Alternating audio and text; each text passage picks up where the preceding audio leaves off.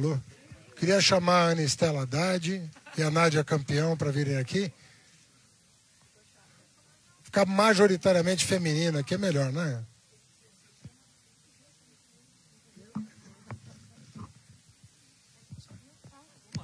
Pessoal, em primeiro lugar, agradecer a presença de todos. Essa entrevista foi convocada ontem e a gente vê que teve sucesso aí na convocação.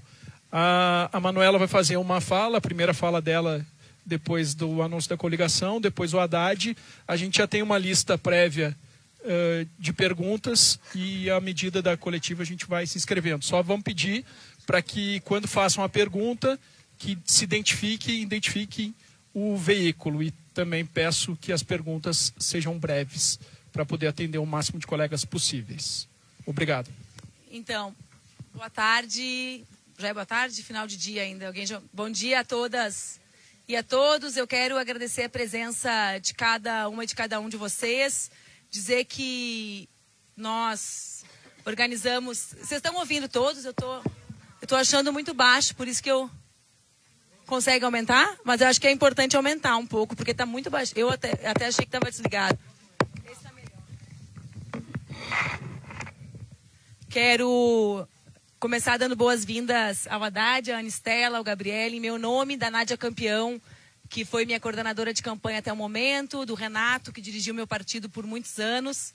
Eu primeiro quero agradecer a cada um de vocês pela cobertura que fizeram da nossa pré-candidatura nas últimas 32 semanas. Nós tivemos a oportunidade de apresentar um conjunto de opiniões ao Brasil e, dentre essas opiniões, durante os últimos oito meses, nós sempre fomos, ou a minha candidatura sempre foi porta-voz de uma opinião bastante importante para nós militantes do PCdoB. Nós sempre buscamos ser porta-vozes da ideia de que era necessário construir uma saída conjunta, uma saída unitária para as candidaturas do campo progressista no nosso país. Não foi nenhuma nem duas, foram muitas as vezes que eu fui porta-voz dessa opinião e já algumas vezes uh, havia dito, em primeiro lugar, que gostaria muito, inclusive, Haddad, de não fazer parte da chapa. Por quê? Porque não fazer parte da chapa num determinado cenário poderia ser uma candidatura com ainda mais unidade do nosso campo político. Esse foi o esforço do PCdoB no último ciclo.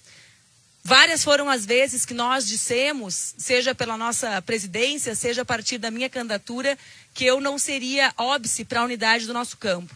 E, portanto, no último domingo, como vocês acompanharam, depois de conversas que foram muito longas, inclusive porque nós fizemos todos os movimentos necessários para que a chapa fosse o mais ampla possível, né, que reuníssemos o maior número uh, dos partidos do nosso campo, mas no final da noite de domingo, então, de forma uh, muito animada, a nossa militância e nós decidimos que nós comporíamos a chapa junto com o Partido dos Trabalhadores.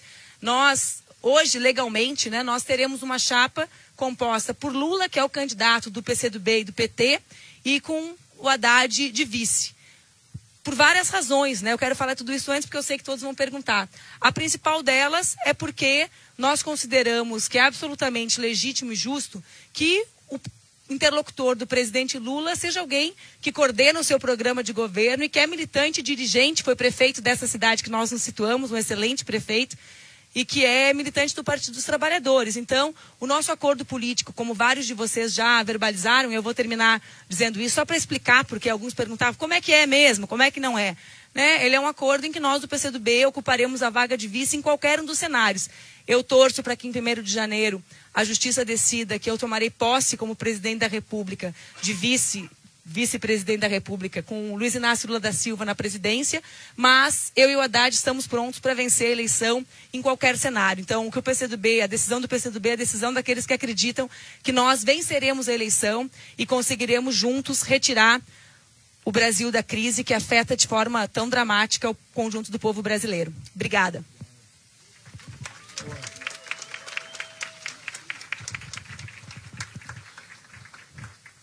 Eu queria dar uma boa tarde a todos e dizer que me sinto muito confortável aqui na presença de três mulheres que eu admiro demais, a minha, começar pela minha companheira de 30 anos, que é a Anistela, a minha vice-prefeita predileta, a Nádia Campeão, e a nossa vice-presidente, a partir de agora, que é a Manuela Dávila, que é uma companheira que eu também acompanho já há bastante tempo.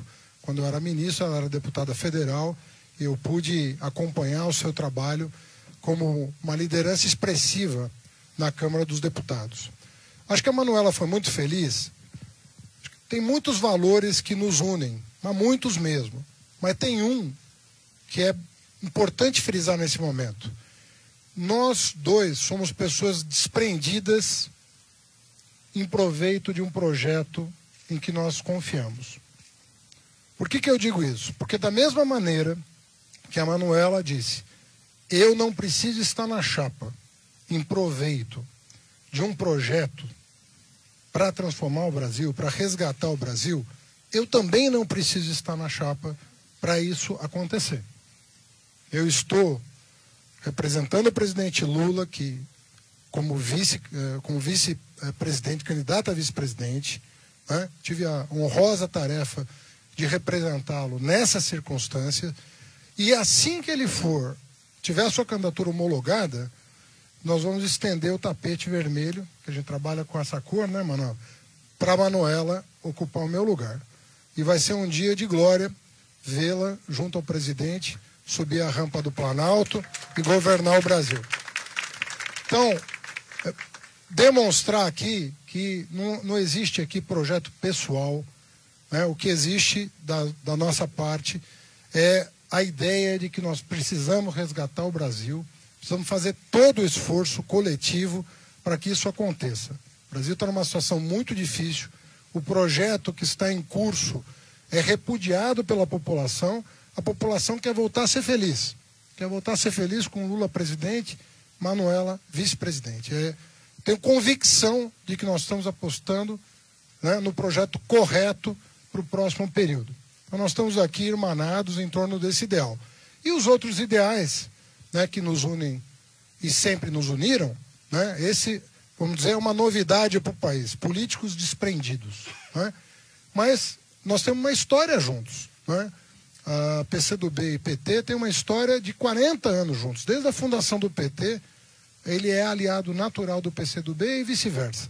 Então, o fato de nós termos mantido a, a nossa aliança, mesmo em condições absolutamente adversas, né, e lamentamos que essa frente não seja ainda mais ampla, porque nem todos tiveram a mesma compreensão é, de unidade em torno do Lula, o que é compreensível e respeitável, mas a nossa compreensão é de que nós temos um plano de governo que vai ser agora ajustado, né, Manu? Nós temos até dia 15 para sentar com as nossas equipes. Tem muita coisa boa que não consta do programa do PT, tem muita coisa boa do PT que não consta no programa do PCdoB. Vamos fazer um ajuste de texto, para que ele seja o mais representativo do desejo né, desse campo progressista se inscrever no dia 15. Fizemos uma convocação conjunta para que todos nós estejamos 15 de agosto lá em Brasília para protocolar o pedido da candidatura do Lula.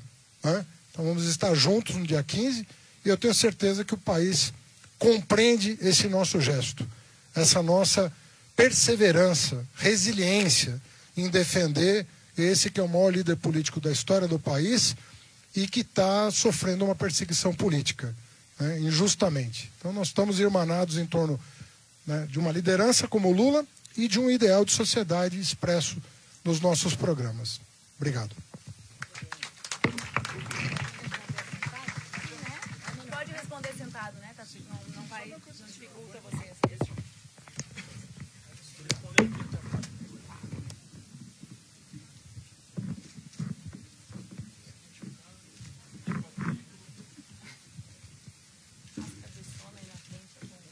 Deputada, boa tarde. É, aqui é Natan do Portal UOL, tudo bem? É, de... Vou anotar um pouco, tá? Ah, não, tranquilo. Deputada, a senhora. Ah, oh, desculpa. A senhora, desde que lançou a sua pré-candidatura, sempre falou que não seria o óbice para a unidade, que gostaria de juntar todos os partidos de esquerda. O PCdoB, nas últimas semanas, também fez várias reuniões com todos os partidos para tentar essa unidade, mas no final o PDT continuou com Ciro Gomes, o PSOL com Bolos, o PSB ficou neutro e o PCdoB se aliou ao PT. É, por que abrir mão da sua candidatura, mesmo não tendo havido a unidade do, da esquerda? porque nós acreditamos que essa é a saída que mais reúne condições de vencer as eleições. Né? Então, eu sempre falei, junto com a ideia de que era necessário a construção ou esforço para uma saída unitária do nosso campo, que também era necessário que nós compreendêssemos que não temos o direito de perder a eleição. Essa é a chapa que vai vencer a eleição. Nós vamos construir juntos essa vitória. E essa é a razão do desfecho que nós construímos. O Brasil vive uma crise severa, né? Os, o impacto da crise nas mulheres e nos homens brasileiros é muito grande para que nós nos dessemos ao que seria né, quase um luxo de para manter a minha candidatura não reunirmos, não aglutinarmos mais forças para vencer as eleições. Nós achamos que juntos temos mais força e temos mais, portanto, uh, condições de vencer o pleito.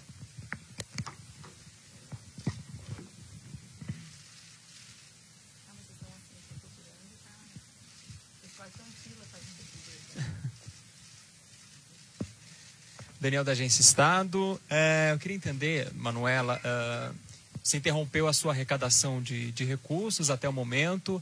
Só para confirmar, que quantidade de recursos você tinha arrecadado até agora e para onde será destinado é, essa quantidade? Se vai ser para a campanha do PT? De que forma vai ser distribuído isso?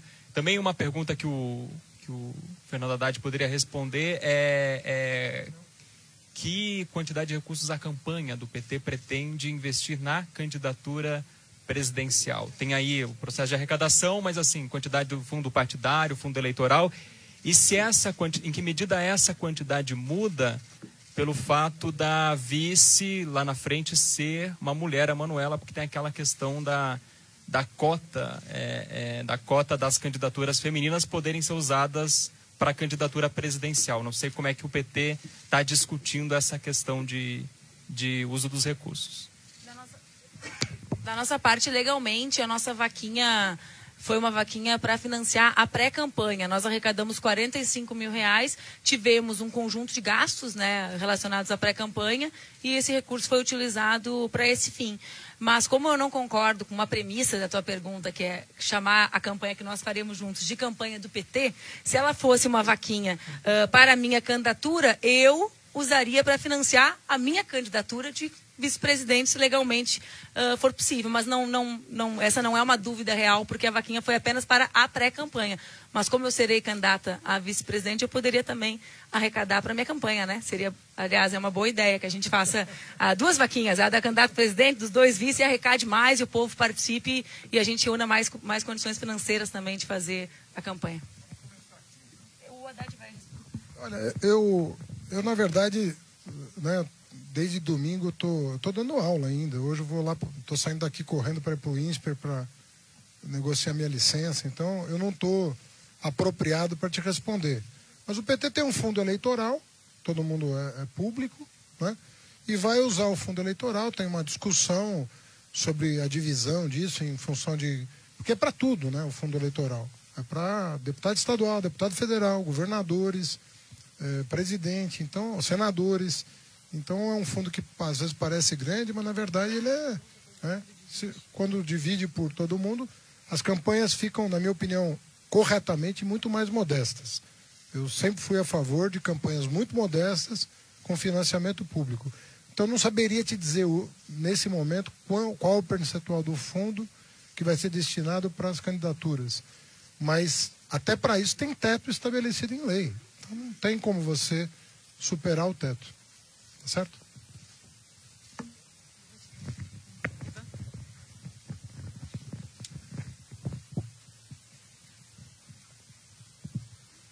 Bom dia, candidatos. Ivan, revista Fórum. É, minha pergunta acho que é mais para o Haddad. Uh, afinal, o PT está pleiteando essa participação nos debates. Eu queria saber, uh, ter uma atualização de como está essa questão. Ontem a Justiça negou né, a participação do Lula no debate da Band, quinta-feira. Uh, havia a possibilidade do próprio Haddad né, tentar participar, mas a Band não colocou o Haddad entre a lista lá de convidados ainda, não tem nada com relação ao PT. E mais cedo, hoje você deu uma entrevista para blogueiros, mais cedo também você citou algo como um debate paralelo, tentar paralelamente ao debate fazer uma discussão. É, eu queria que você detalhasse um pouco isso, desse uma atualização é, sobre o que, que o PT vai tentar na justiça com relação a você ou ao Lula, com relação aos debates.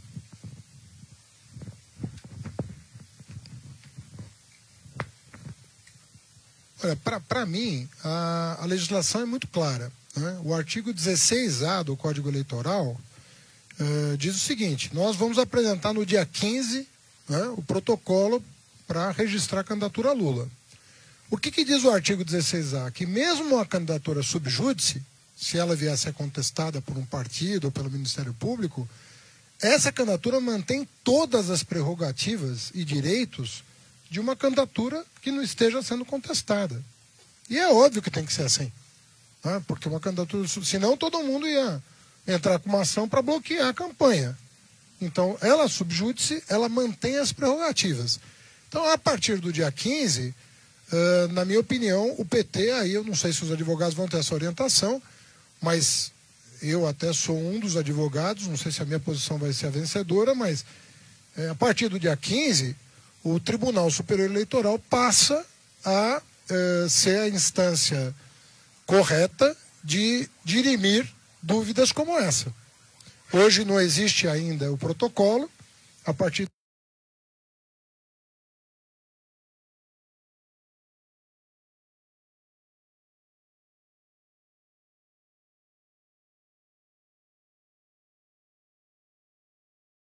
do dia 15 haverá um protocolo e nós devemos, deveremos recorrer à Justiça Eleitoral para aplicar o Código Eleitoral. Agora, o meu entendimento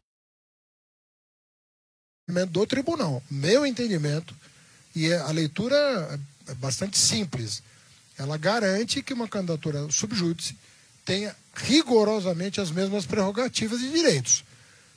E é textual, inclusive TV e rádio. Está mencionado lá com todas as letras. Então, Lula teria, é, até é, o deferimento ou não, espero que seja o deferimento do seu pedido, teria é, o direito de participar de tudo. Né? E a lei é clara, inclui rádio e TV. Então, nós queremos o Lula em rádio e TV, defendendo o seu programa, defendendo a sua candidatura. Para esse eu não sei te dizer que, como, conforme eu disse, eu não, eu não, eu não ele é anterior a, ao pedido de registro, então eu não sei como os advogados vão tratar dessa questão específica. Agora, nós, viu, Manuela, eu, tava, eu fiz um, uma entrevista coletiva com, com blogueiros, né? E eles nos deram a ideia de nós fazemos um debate programático na quinta, né? se nós não, não viermos a participar do debate da Band, nós vamos fazer um debate é, da banda boa aqui. E, e, e, nós vamos ganhar em audiência, eu acho que nós podemos ganhar em audiência desse pessoal. Vamos fazer uma força. Liane.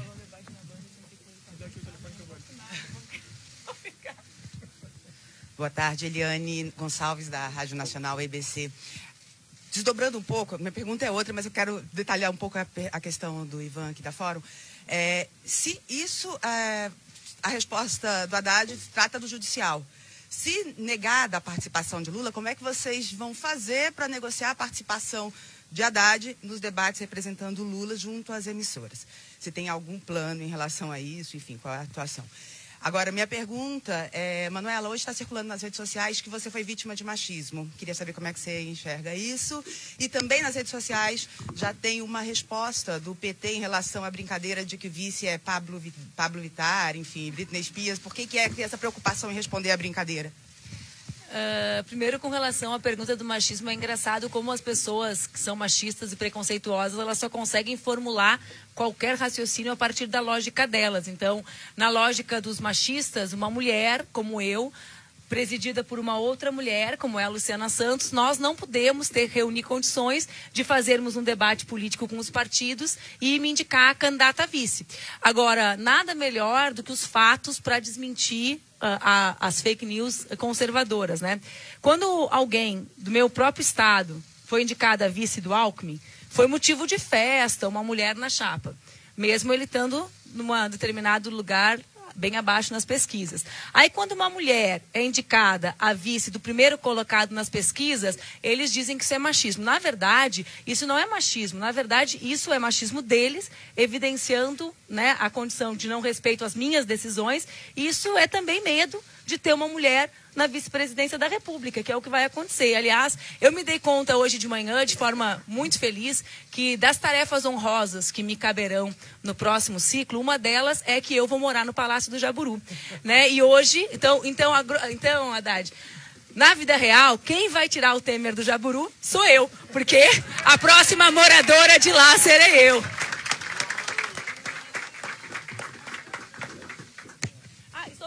Vittar, eu até achei engraçado, porque ele até. Uh, o Pablo já falou que quer fazer o show da nossa posse. Vocês viram a resposta? É um trid, não é? Tem um, tem uma, um meme, depois tem o vice é o Haddad, e depois tem. Ah, mas deixa eu fazer o show da posse, já está convidada. Acho. Pelo menos no Jaburu pode ter o show. Acho que vai ter em toda a esplanada, né, Haddad? É, Haddad, vamos lá. É Gabriel Prado, da Globo News. É, eu queria saber se, em caso de impugnação da candidatura do ex-presidente Lula, é, se o senhor tiver que virar o plano A, o senhor já tem traçado essa estratégia de como fazer isso na prática, com viagens e exposição, até para ter é, um apelo, tanto quanto o apelo do ex-presidente, popularmente falando, em outros estados. Essa falta de apelo do senhor preocupa? Como é que o senhor pensa nesse plano B que pode virar um plano A na prática? Bom, é, qual que é a orientação que nós vamos seguir? Né? Uh, nós estamos defendendo um, um, projeto. É óbvio que quem personifica esse projeto né, é, repito, a maior liderança política da história do Brasil. Isso aqui é comum a PCdoB e PT, ninguém disputa isso. Lula é a maior liderança, a maior expressão política da história do país. Então nós estamos defendendo um plano de governo que foi forjado a muitas mãos. Vamos compatibilizar no que precisa com o programa do PCdoB, que é muito bem-vindo, né? mas diria para você que, sem sombra de dúvida, 99% do que está nos dois textos é comum. Então, se tiver alguma coisa para ajustar, é muito pouco.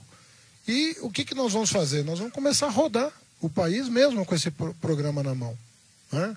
Eu e a Manuela eh, e toda a militância, né, nós vamos rodar o país, rodar o Nordeste, rodar o Sul, com com essa mensagem de que nós queremos resgatar a soberania nacional, resgatar a soberania popular, resgatar desenvolvimento com inclusão, né? denunciar o que está acontecendo com o Lula, sem, sem medo nenhum de assumir posições em relação ao que está acontecendo. Então é isso que nós vamos fazer. Né? E no momento adequado, nós vamos tomar uma decisão, mas é, eu disse e repito, para mim vai ser um dia muito especial, o dia que a candidatura Lula for registrada e eu ceder meu, local, meu lugar para essa grande companheira, Manuela Dávila. Vai ser um grande dia para mim. Então não temos nenhum problema com isso.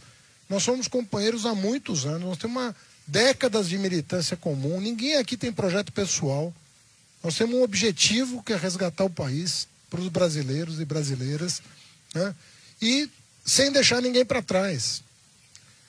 Nós, se, se, alguém pensa que nos ofende falando é, de Pablo Vittar, está enganado. Para nós, é, comunidade LGBT, negros, quilombolas, indígenas, nós não somos aqui. A nossa vice aqui é diferente da, do, do, do vice do Bolsonaro. Nós, nós escolhemos uma vice que é gente, dos, dos nossos sonhos, que não quer deixar ninguém para trás, não.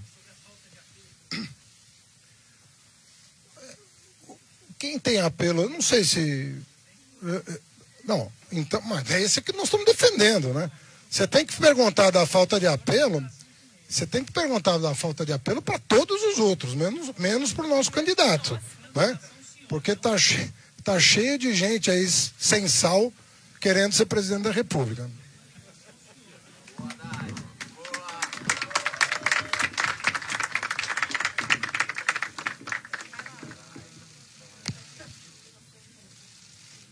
Bom, posso fazer a pergunta? É, Laura Capriglione, dos Jornalistas Livres. É, eu queria fazer uma pergunta para o Haddad, mas também para você, Manuela. O programa que o PT apresentou, ele, a meu ver, ele radicaliza uma série de questões é, em relação às gestões passadas do PT. É, duas delas são muito importantes. Por exemplo, a questão dos bancos e a questão da, da mídia. Né? É, a questão dos bancos, o Lula sempre foi um cara que disse que os bancos nunca lucraram tanto quanto sob os governos do PT.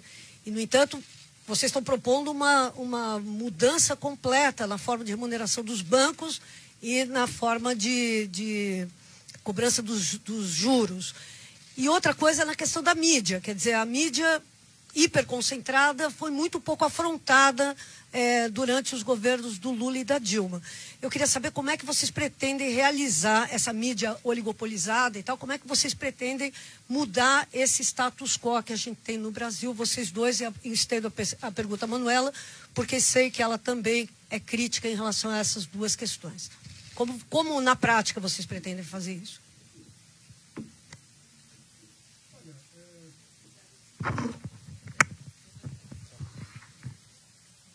O, o que a gente quer é desenvolvimento, né? Nós queremos nos mirar nas experiências internacionais mais desenvolvidas. Não tem cabimento nem uma coisa nem outra.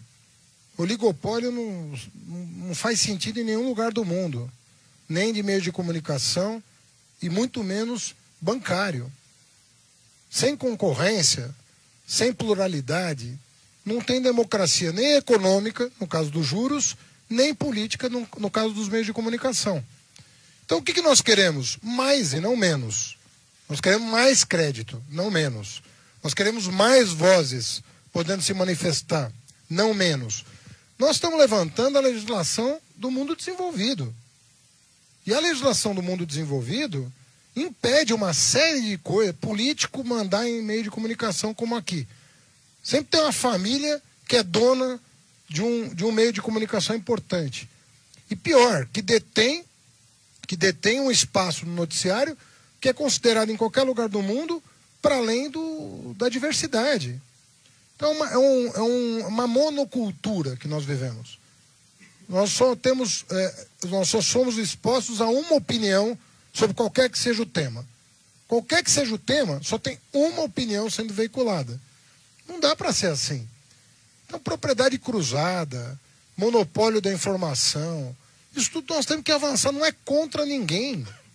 Isso é a favor. Vai gerar mais emprego para jornalista isso, não menos. Por que, que os meios de comunicação concentrados estão demitindo cada vez mais, sobrecarregando vocês de trabalho? Todo mundo aqui que trabalha, trabalha 16, 18 horas para manter o emprego. Não era melhor ter mais pluralidade, mais empregos, uma jornada de trabalho mais adequada?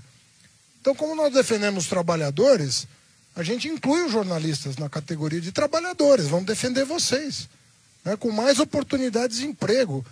Vocês têm que ter mais liberdade para se expressar. Vocês não podem ter poucos patrões, nós temos que ter muitos.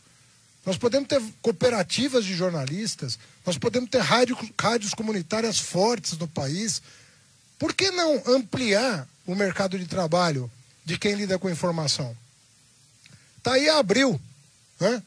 Agora, ontem, mais 500 para a rua. Quer dizer, se a gente não fizer alguma coisa.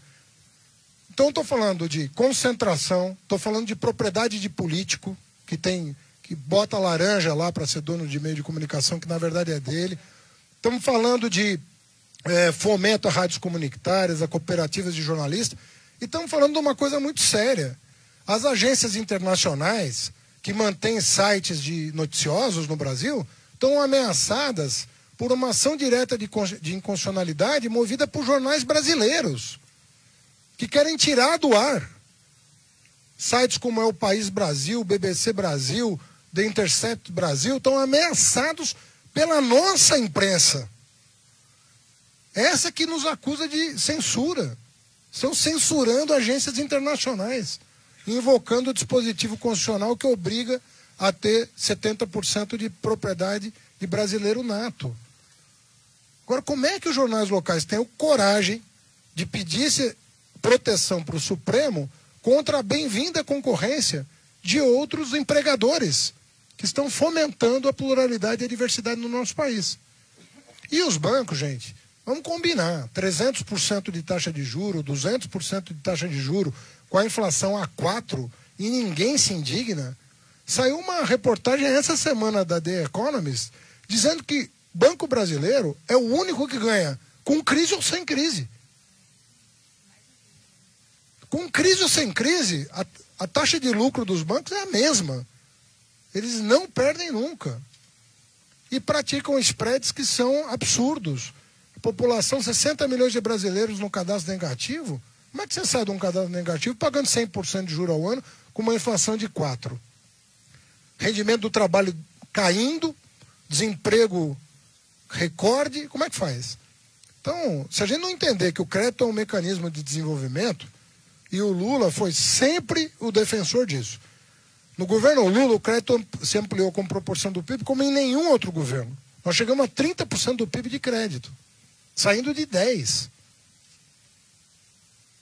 Então, as alavancas do desenvolvimento democrático é crédito, tanto econômico quanto político. É por isso que a gente fala de meios de comunicação. A informação fidedigna né? e crédito barato para a propriedade mudar de mãos, para as pessoas conseguirem empreender, para as pessoas conseguirem consumir. Né? É assim que a coisa funciona no mundo inteiro. Então, Laura, eu acho que não é assim. Eu não, eu não acho que é, é, radical do ponto de vista democrático. Né? Se você usar essa terminologia, nós estamos querendo radicalizar a democracia, tanto do ponto de vista da informação quanto do ponto de vista do crédito. Mas isso é uma radicalização que todo país desenvolvido fez no sentido de modernizar as relações sociais no, no, no país. Uma parte grande do que o Haddad fala com relação à democratização da comunicação, que é, acho que é a parte da pergunta que tu queria que eu também comentasse, é prevista na Constituição, né? Então, nessa eleição, muitas das defesas que nós faremos são defesas relacionadas à Constituição de 88, para que ela siga, para que ela siga sendo, né, o nosso principal instrumento da democracia, mas também para que ela valha naqueles aspectos que ela nunca foi cumprida, como é o tema da regionalização da mídia. O Brasil é muito diverso, né, gente? Uh, alguns estados que têm práticas diferentes de produção de conteúdo, sabem? O pessoal do cinema sabe, todas as áreas que são relacionadas à comunicação sabem o impacto que tem a, as novas tecnologias, por exemplo, a forma como nós governamos e garantimos no marco civil de internet a neutralidade de rede e a ideia de que todos são iguais e que não tem conteúdo prioritário, também é uma forma de garantir, de forma radicalmente democrática, que as novas tecnologias sejam tão democráticas quanto do ponto de vista do imaginário daqueles que as criaram. Né? Então, acho que em vários. Pensar a comunicação hoje é pensar reformas de muitos aspectos, né, Laura? Não é só a, a ideia que nós tínhamos há, há quantos anos? 15, quando eu me formei em jornalismo, já faz 15. Mudou bastante, né? E a gente tem que. A legislação brasileira acompanhou isso no último período também. Pessoal, a gente só vai responder mais a uma pergunta porque eu, porque eu tenho que dar aula. Então não tem jeito. A partir de amanhã talvez eu esteja licenciado, mas eu tenho que ir lá.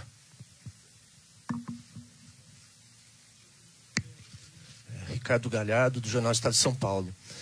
É, Prefeito, é, tudo bem que é, o PT, vocês têm dito, o próprio presidente Lula disse ontem, por meio da, da senadora Gleisi Hoffmann, que ele é o candidato, no dia 15 vocês vão registrar a candidatura dele. Mas existe a possibilidade concreta de ele não ser candidato, dele ser impugnado pela Justiça Eleitoral. É, a minha pergunta é a seguinte: o senhor tendo sendo escolhido para ser o vice, é, o senhor, o senhor acha que isso é um indicativo de que se o Lula for impugnado, o senhor é o substituto? Olha, eu fui convidado para ser vice, né? E aceitei com muita honra, porque já, já me sinto honrado com o que aconteceu. Não precisa acontecer mais nada na minha vida para eu me sentir honrado de figurar ao lado do Lula no momento desse. Para mim é muito difícil visitar o Lula, muito difícil, né? Acompanhar o que está acontecendo com ele é um, é um sofrimento pessoal, né, que causa muita indignação. A gente sai de lá com uma, uma garra danada para brigar, mas ao mesmo tempo com o coração apertado, porque não é fácil o que está acontecendo, não é simples. E nem nós vamos naturalizar. Então, do meu ponto de vista, né, eu recebi um convite do presidente para se figurar como vice nesse momento, sabendo que no momento do registro, a, a candidatura da Manuela à vice-presidência se impõe. E é esse o pacto que eu fiz com ele. Não tem nada para além disso. Estou muito confortável com essa situação.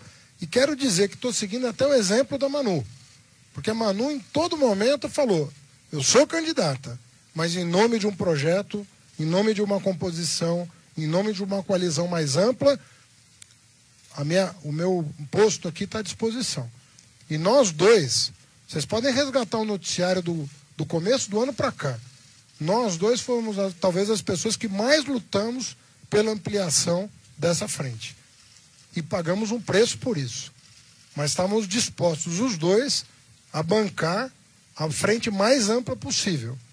Tá certo? É, então não tem, não tem essa disputa. Não? É, segundo a Gleisi, Lula disse que o senhor está em estágio probatório. A Gleisi, a Gleisi já, deu, já me deu uma nota 10 no primeiro dia de estágio. Me ligou e falou, hoje você foi muito foi bem. Só, ó, é, só para registro, quando ele era ministro da, da Educação, e eu era deputada, eu que relatei a lei nova dos estágios. Então, sobre a lei que foi aprovada com nós dois, ele já está aprovado. Vai ser efetivado por seis meses e depois vira efetivado. Pessoal, o, o prefeito vai, vai nos deixar em função do compromisso, mas a, a Manu vai responder mais, mais três aqui. Então, Sérgio, fica, vou, vamos pedir para os colegas que se inscreveram aqui, tá? Por favor. Não. Te inscrevo, te inscrevo.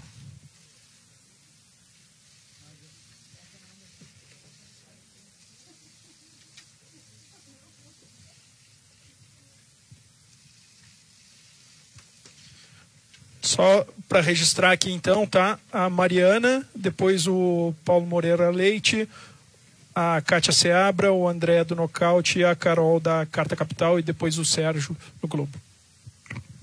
Boa tarde, gente. Só esperar um pouquinho aqui.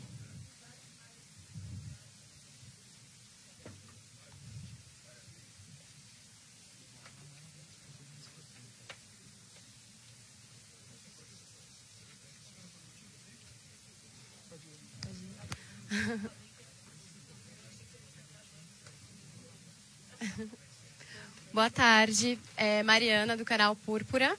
Gente, eu gostaria de perguntar, na sua opinião. Ah, tá. Obrigada. Manu, gostaria de perguntar é, se você acha que existe uma chance de uma coalizão de esquerda e qual a possibilidade de retomar um diálogo com o candidato Ciro Gomes, se é que existe uma vontade para isso. E agradecer que você foi até minha casa dar uma entrevista. Obrigada. Obrigada. Na verdade, nós do PCdoB sempre ressaltamos o papel que as candidaturas do nosso campo cumpriram e certamente cumprirão no primeiro turno das eleições. E o nosso esforço, né, meu, do Haddad, será para que nós estejamos no segundo turno, ah, mas o nosso compromisso é o compromisso de diálogo desse campo, né? o esforço para que as relações ah, de solidariedade, enfim, de respeito sejam mantidas nessa primeira etapa da eleição, porque, enfim, é, é, o adequado. Sempre que falam sobre nós, eu acho que é bom que a gente reflita que metade do povo brasileiro não tem candidatos. Então, eu, particularmente, vou seguir viajando o Brasil todo, não para pegar voto nem de Ciro, nem de Boulos, mas para pegar né, e para falar com as pessoas que ainda não escolheram os candidatos e que querem abrir mão da política. Eu fiz uma escolha há 20 anos de acreditar que a política é um instrumento de transformação. Então, tem metade do povo que está tentando achar que não é. Eu vou tentar falar com eles que é, que é assim que a gente vai poder tomar o Brasil, né, devolver o Brasil, o povo brasileiro. Ah, opa. Bem, Manu, eu queria perguntar sobre uma questão, até em homenagem ao Gabriel, que está na mesa. Como é que a gente. Uma das grandes derrotas que o país sofreu foi a mudança na lei do pré-sal. Que praticamente entregamos nossas reservas de, de petróleo uh, de mão beijada aí, uma, uma coisa escandalosa. Eu queria saber que ideias a gente tem, que planos a gente tem para recuperar essa riqueza, que é um símbolo desse período que a gente está enfrentando e que certamente a recuperação poderá ser um símbolo de um novo período que vocês pretendem abrir no Brasil. São Paulo sabe que nós do PCdoB e nós uh, registramos, né? Enfim, no dia primeiro nós apresentamos um pré-programa, porque ele não chegou a ser homologado, com alguns temas relacionados ao Brasil. E para nós, a cadeia de petróleo e gás e toda a indústria relacionada a isso é estratégico para pensar ou para que a gente possa refletir um projeto, aquilo que nós chamamos de novo projeto nacional de desenvolvimento. No final, eu, eu me sinto à vontade para falar isso, eu cochichava com a Nádia, né, que uh, eu sou candidata, serei candidata a vice, né, então caberá e cabe ao justamente ao Haddad, que é o porta-voz do presidente Lula, que expresse o conjunto de opiniões, né, Gabriele, relacionados aos temas do candidato que não, que não serei eu, serei candidata a vice. Mas como nós fomos signatários de forma comum de um documento no final do ano passado que chamava-se um novo projeto nacional de desenvolvimento, sei que esse tema da indústria de petróleo e gás, da cadeia relacionada ao petróleo e gás é estratégico na visão de todos os candidatos do nosso campo. Né? Então, acho que, creio que será tratado com essa centralidade no nosso próximo governo, porque nós somos aqueles que querem que o Brasil se desenvolva de forma soberana e pensar em soberania também pensar em como nós uh, podemos explorar da melhor forma as nossas riquezas, não delegar isso a outras nações.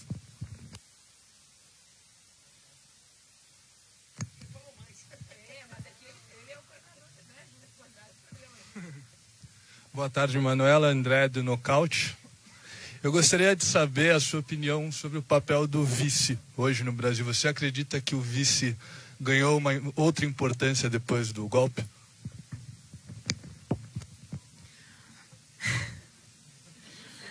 O vice sempre, sempre é importante, né? A composição de uma chapa é um instrumento político. Nós tivemos um vice extraordinário no primeiro ciclo que governamos, o ex-vice-presidente José de Alencar, né? Um homem que sempre lutou pela indústria brasileira, que há muito tempo, talvez a marca, quando a gente pense nele, eu particularmente, que fui deputada com ele de vice, sempre me lembro dele como militante dos juros baixos, né? Uma questão estratégica para o desenvolvimento uh, do país. Então, o vice sempre foi importante.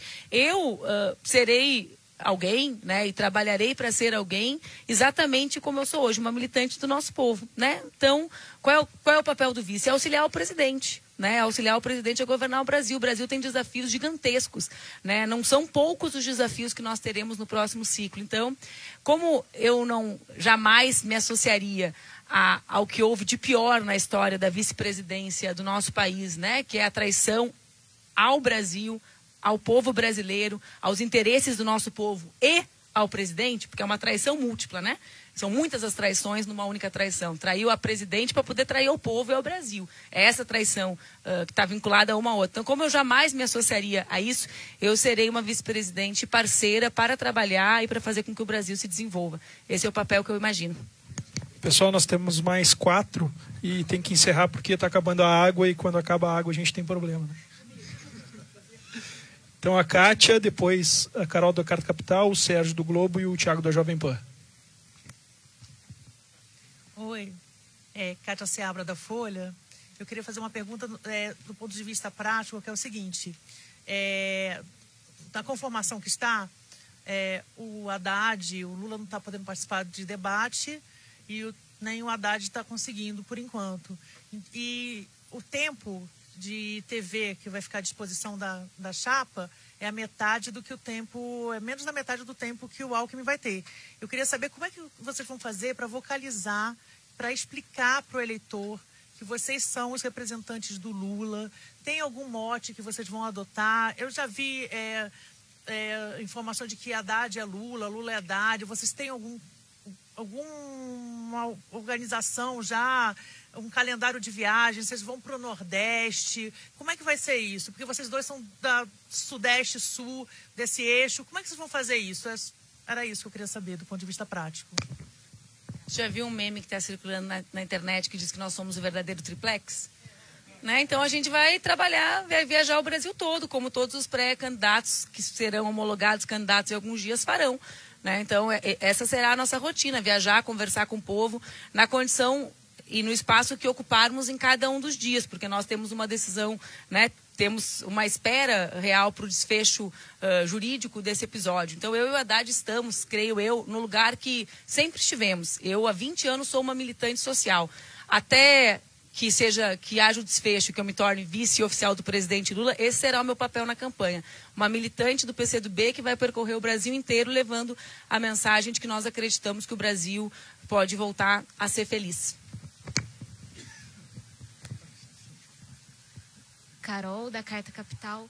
É, deputada, durante a pré-campanha, você falou sobre a, que sabia o seu papel é, como única candidata à presidência depois do, do impeachment da presidente Dilma.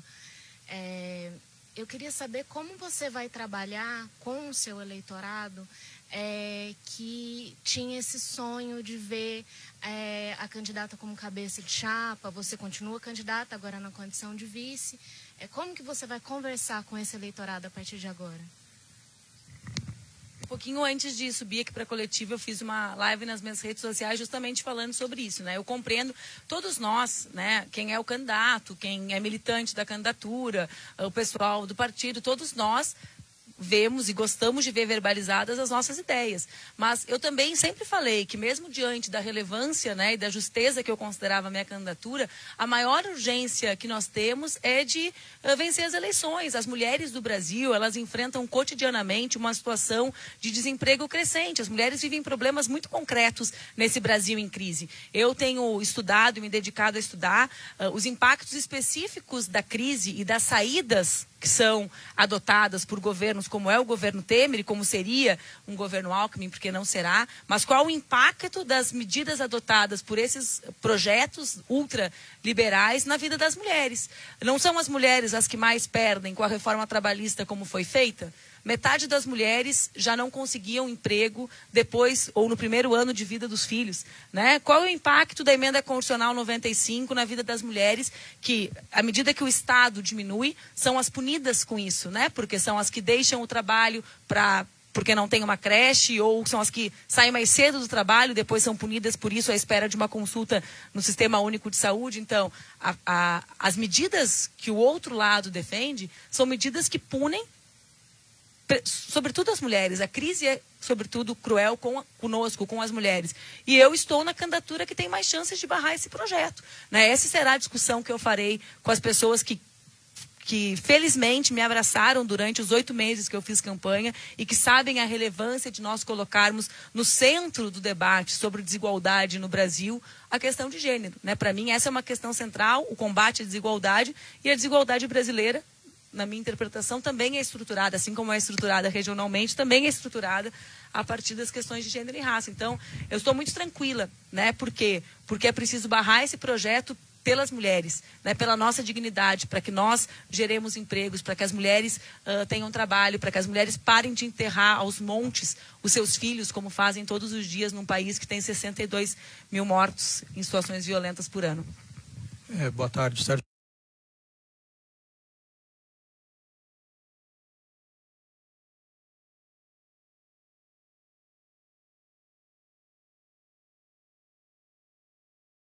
Rocha, aqui, Sérgio Rocha do Globo.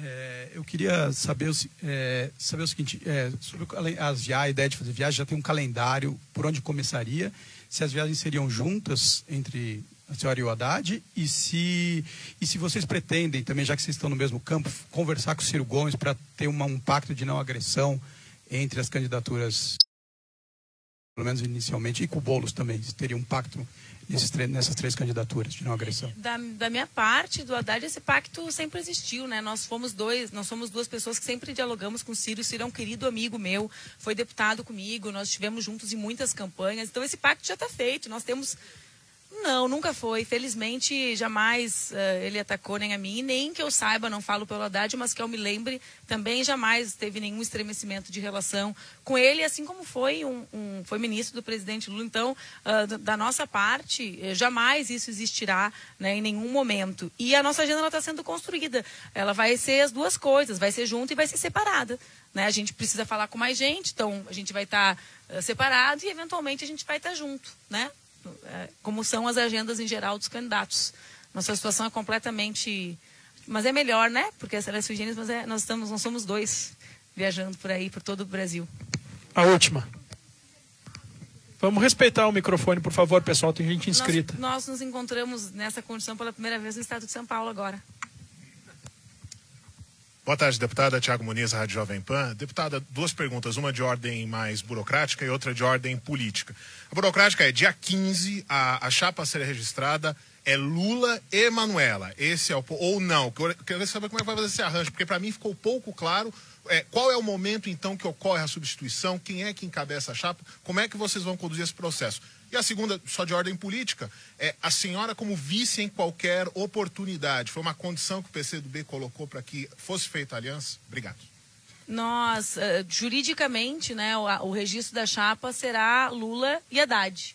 Né, e ao desfecho dessa situação, que é uma expectativa grande de todos nós, né, nesse, nesse momento em que existiu o desfecho, que o presidente Lula tiver a candidatura dele homologada, registrada, aí eu assumo a condição uh, de vice-presidente, porque nós achamos que é o razoável que o interlocutor do presidente Lula seja alguém que é um dirigente, é um filiado, um, ex-prefeito dessa cidade, né, o que coordena o programa de governo, que seja do partido dele, que é o Haddad. Né, é razoável. Eu, há 20 anos, fiz uma opção de me filiar ao PCdoB. Né, então, eu represento, são, nós temos projetos muito próximos para o Brasil, mas eu sou representante desse conjunto de ideias na chapa. E o interlocutor do presidente Lula deve ser alguém muito afinado com ele, alguém do seu partido, alguém que coordena o seu programa de governo. Então, a, a transitoriedade é relacionada a isso, ao desfecho da situação e ao registro dele. Por quê? Porque, como disse o Haddad, a legislação para nós é clara. À medida que existiu o registro dele, ele tem o direito de estar na TV. Né? Então, ele registrado, ele ocupará esse espaço e conseguirá, de forma mais direta, ser seu próprio interlocutor.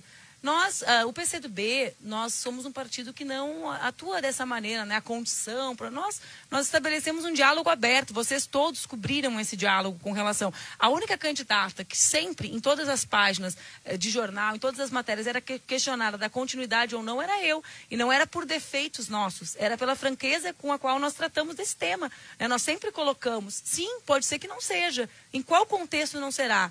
De nós construirmos uma saída unitária para o nosso campo, né? Então não é, uh, nós tratamos as coisas de forma muito franca porque é melhor, né? Quanto mais nós falamos diretamente com vocês e vocês como inter, né? o meio de campo com o povo, mais o povo vai ouvindo, adquirindo consciência, acompanhando mais de perto os processos políticos. É melhor se for assim. Então, obrigada, gente. Uma boa tarde, obrigada por acompanharem e nos vemos muito daqui para frente.